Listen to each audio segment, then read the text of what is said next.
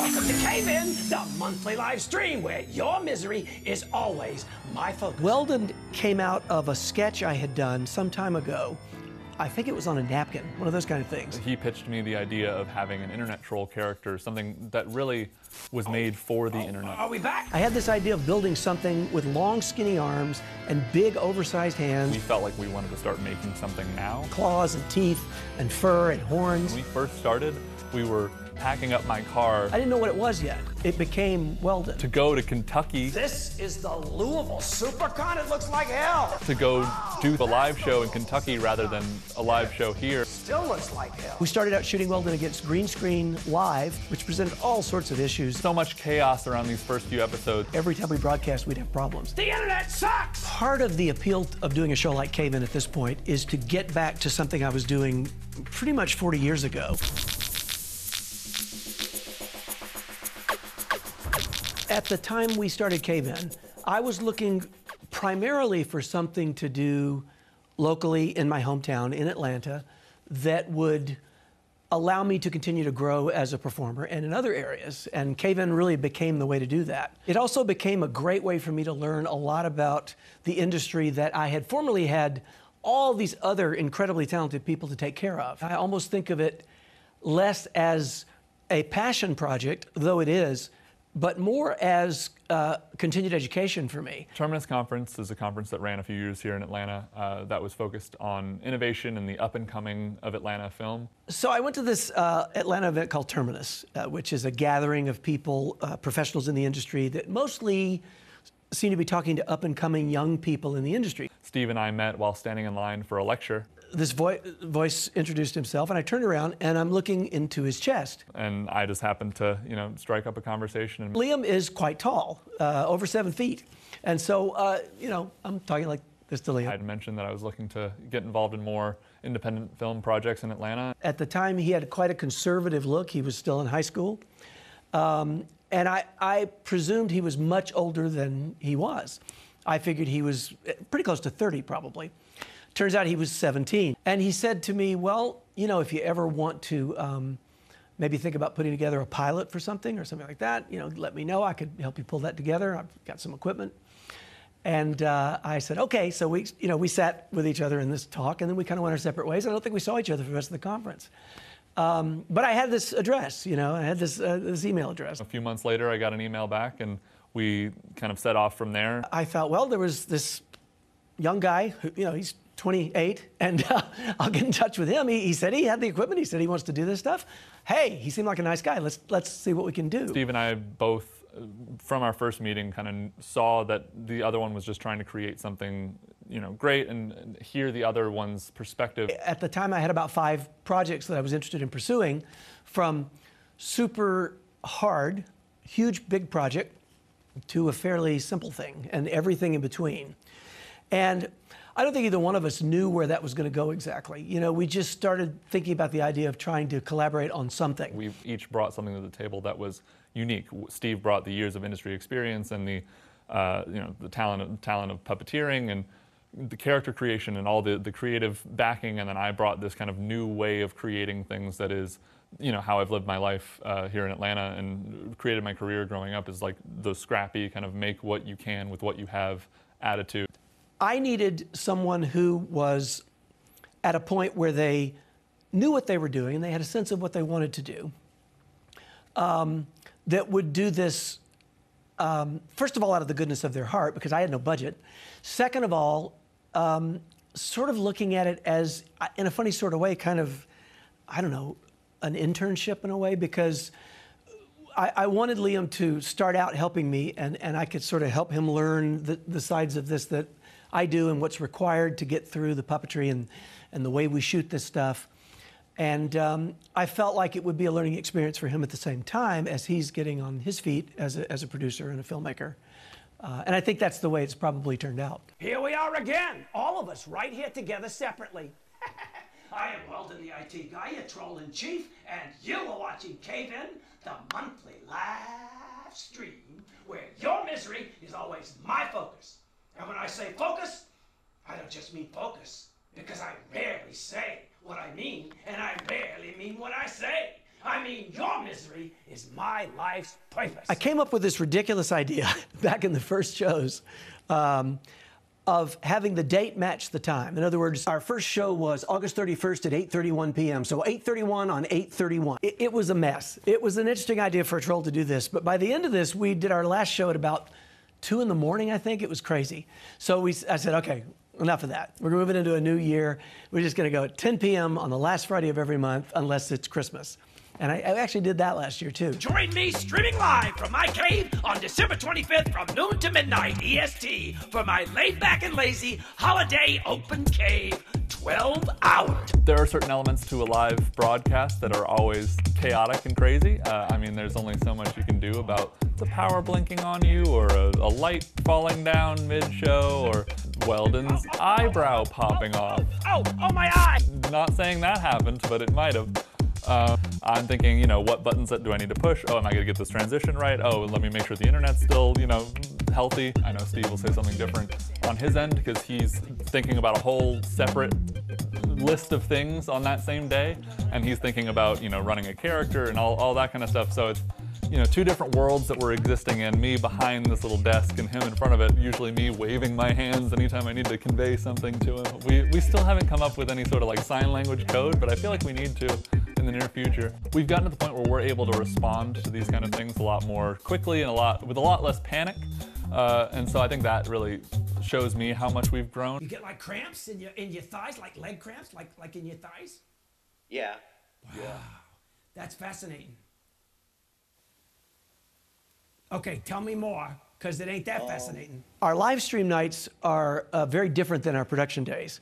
Uh, Liam and I will usually try to set up the day before um, as a function, in my case, of just having a more stress free time prior to the live show. I'm really trying to focus on character at that point. Uh, Weldon's about to go on and have to talk. And I never know what he's going to say past his opening little monologue that we usually, I usually make notes on. Uh, so I try to be rested and ready for that. We always have last minute checks on our internet service to make sure we actually have some. We initially started out with Liam trying to screen calls and run the show uh, and deal with any problems that we were having, and it was nuts. So we check in with uh, my brother in law, Ron Gaynor, who is Captain Ron. Uh, Captain Ron is our remote call screener, uh, and, and thank goodness for him. It's a huge job. One of the first challenges when Liam and I decided to work together was where do we do this stuff? To do a monthly live stream, we needed a base of operation that was at least our own little space. Didn't have to be elaborate, just needed to be functional. Liam had access to a space that we hadn't really considered as an option for a studio per se. The one thing it had in it was a built in sort of curved site but it was going to require a lot of um, finagling and, and, restructuring and building and thinking about in order to make it work.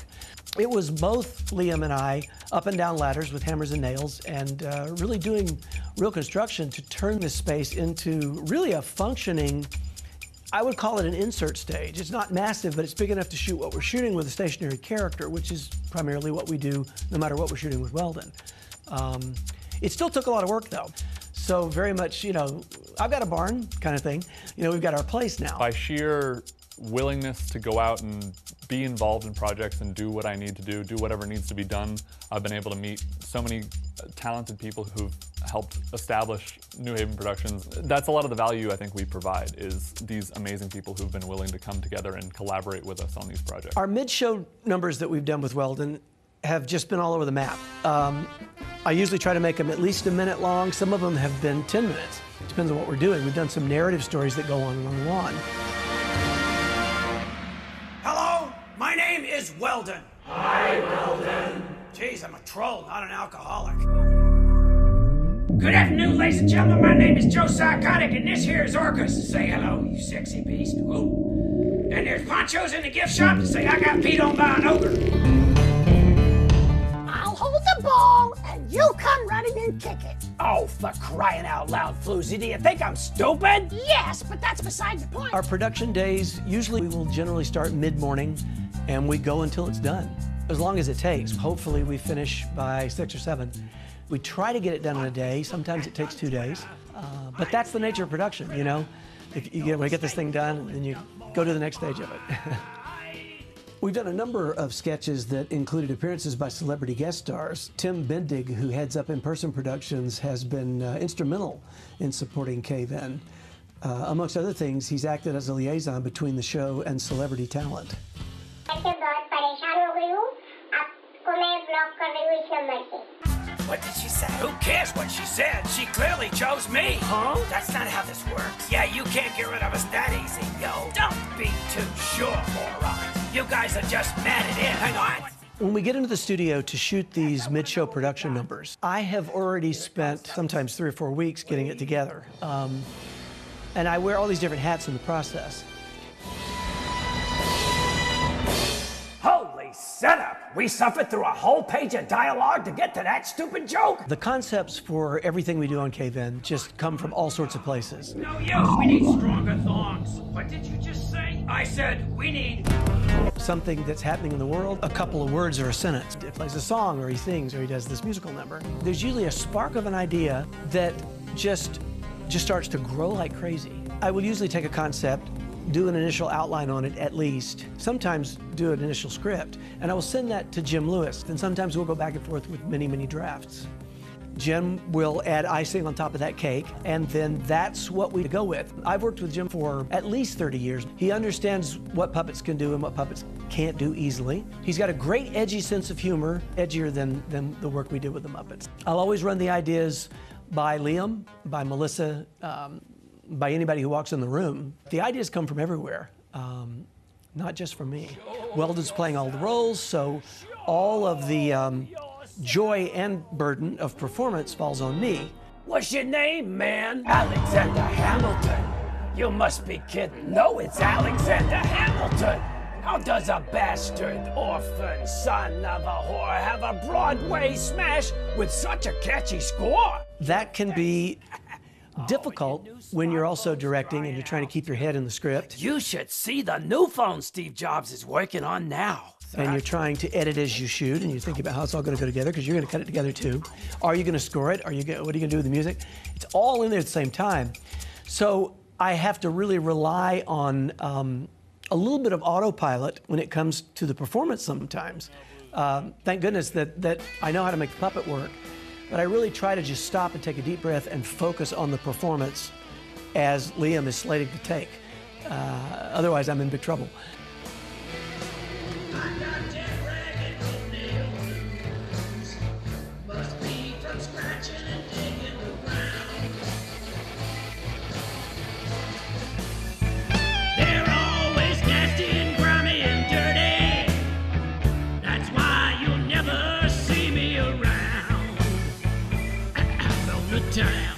You look at our sketches too, I mean, just the difference between the, the first one, the Dark Crystal parody that we did, and I mean, Star Truk Wars is going to look like someone else entirely made it. Good point. Oh, I'll get the hot glue gun. Steve and I working together on this. It's very satisfying as a, as a creator of something. Yes! But all these selfies, I thought I was the only one. It makes me feel like, oh, like I'm actively getting better at making this show better. And that's how you know that a project's worth working on is when it continues to grow over time and it doesn't just stop in a certain place. Star Truk Wars, Yo-Yo, scene 6A, take three. So, with our trusty final draft of the script in hand and building all the puppets and costumes behind me, it's time for the three of us to go into the studio and roll camera. Now, normally Weldon plays all the roles in these sketches, but in this case, there were a few new puppets to build. In the case of a project as complex as Star Truk Wars, I pre recorded most of the scenes for timing, so we're all working to audio playback on the floor. This time try making the words your own. even though we have our script, we always try to add little nuances and moments as we go. Our shooting days are, are silly and fun and, and even intense sometimes. And uh, for me, it involves a considerable amount of coffee. Did someone call me? I'm Isaac Gazmararian. I'm the Chief Art Director for New Haven Productions, which more recently has involved me getting into graphics and doing 3D animations um, which has made me really excited to bring to life our latest project, uh, Star Truk Wars. There was a local film festival in Atlanta, uh, Terminus. I was volunteering there. He got a free badge in, in exchange for helping out around the conference. I don't think I was supposed to technically be like, you know, socializing as much as a volunteer. I'm not sure he was the best volunteer by the end of that one because uh, I, I ended up pulling him over and we just sat and chatted on the floor for about the entire weekend. We just really hit it off and started talking. We got so fascinated with each other's views on film and I could tell that he was very passionate. Funnily enough, at that same exact film festival, I ran into Steve Whitmire. It's funny to look back on like that singular day working at that film festival. Um, the, me meeting both of both Steve and Liam was like has now turned into like me working with them. To start sharing Weldon's world with the audience necessitates coming up with ways to put him into his world as I see it in my head. Trying to find more complex ways of using this one puppet in ways that hopefully keep it entertaining when he's talking to himself as different characters uh, has been really quite a journey and very complicated. Ah, what a Mickey Mouse operation. We do everything via green screen with him, and while we can create certain level of backgrounds, and, and Steve loves to do his in uh, word word processors, I think. Um, there's there's definitely limitations on what can be there, and you know, bringing in Isaac helps us really build a world of his own for Weldon. I started out creating all of the backgrounds in Weldon's world in Pages, which is an Apple word processor. It's just about the last app you would ever choose to build backgrounds. But you know, you work with what you've got, and it's a real lesson in it's not about the technology as much as it's about what you choose to try to do with it. So to move on to do something like this Star Truk Wars piece that we're doing, it's certainly the most complicated thing we've tried to do and the biggest endeavor so far. And to be able to bring someone like Isaac in, who's very enthusiastically in the process of still learning about uh, 3D technology, I think it was something he could sink his teeth into. When Liam brought me onto the project, it really gave me the opportunity to take all of this 3D knowledge that I had built up and condense it into one much larger project than anything I'd worked on before and also allowing me to expand on my own creative skills as well because going through from the very start of concepting to modeling through iterations of different models to animation is allowing me to be a better 3D artist, be a better communicator and develop new skills. When we decided to do Star Truk Wars, we had a lot of limitations in terms of what we would be able to actually see as a finished product. And so Dell graciously loaned us a couple of their precision workstations. A huge help was having very fast computer power. One of the unique challenges with working with 3D software is how much time it can take to even see what you've created. The Dell laptop drastically increased how fast we've been able to render out different frames. I actually did a test where I set up my old Mac and I set up the Dell laptop and I rendered the same exact scene. Say it takes, you know, 10 seconds to render it on the Dell versus 20 seconds for the Mac.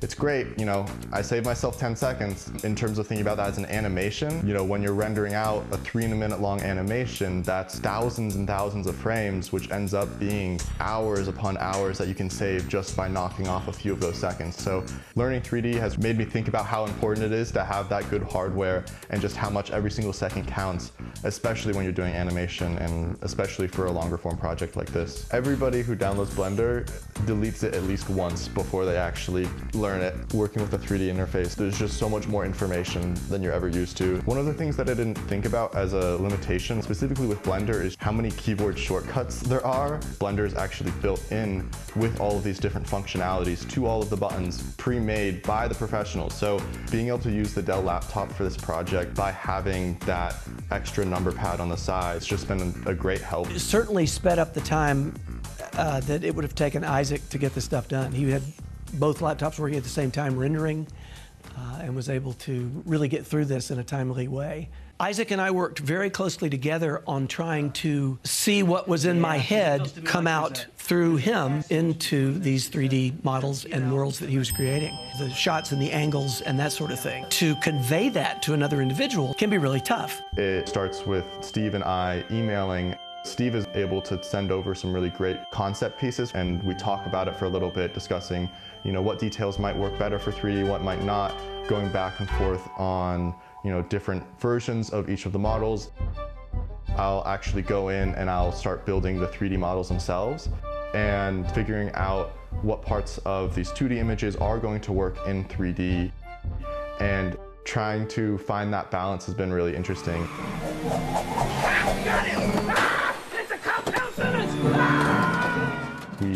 Are not trying to go hyper realistic, but we're trying to not completely simplify things to the point where it looks like a, a child's cartoon. Steve has a very uh, artistic and creative centered mind and focus with everything that he does. He knows what he's looking for in his pieces and he can imagine it in his mind and he can articulate that.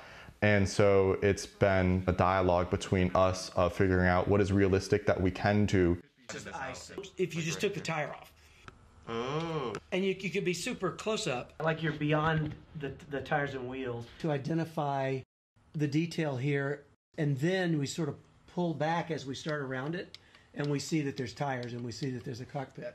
Oh, I see. Here, so this is the rendered view. I already scaled it down a little bit. Uh huh. Um, the cockpit. I don't know what you're thinking. I haven't made this mesh very well yet. And you can ignore the background, it's just for Wow. lighting. But That looks amazing. I love it. in terms of the scaling, you do want it this size, you're thinking? I can think so. Yeah, uh, the, the uh, cockpit, yeah. Yeah. I think it, I think that's a good overall size. Star Truk Wars is Jerk, scene 1B, take one. Working with Steve over the last few years has really helped me learn a lot about working with people who are a lot more experienced in the industry than I am. He's very patient and very understanding, and I think it's a good way to kind of segue into what it's like to work at these high levels. Come on, space! Ah! Okay, that was not terrible. Steve's used to working with the top of the top at the Muppets, and so being able to work one on one with him and have him treat me the same as he would treat a producer on one of those shows holds me to a standard where I feel like I need to continuously, you know, work to reach that. If there's one thing I've learned over the years, it's that it's very important to find the right group of people to work with when you're trying to collaborate on anything artistic. Um, you can have your own visions, but if you find the right people to help you make those visions come into reality, then you can really come up with something truly wonderful. And both Liam and Isaac have turned out to be those people, along with the rest of the Cave-In team. Um, you know, I was 19 years old when Jim Henson pulled me into his team, and um, that's the same general stage of life where Liam and Isaac are now. So I kind of know firsthand how beneficial it can be when you're forming your own styles to be mentored in the perspectives of someone who's been around a little bit. But at the same time, it's invaluably beneficial to me to have access to the perspectives of these young, passionate minds who are newer to this and see them grow as we all grow together. Um, Jim Henson once said that he didn't really know where the ideas come from, but I can tell you uh, that if you find the right people to collaborate with, well, that definitely has something to do with it. Thank you all very much. Hello? Hey there, Weldon. Yeah, kidding me. If you'd like to see Star Truk Wars or any of the other crazy stuff we've done on Cave In, you can jump over to the Cave In YouTube channel, and you can also go there and search Weldon the IT Guy. Hope you enjoy. Will you please stop calling me?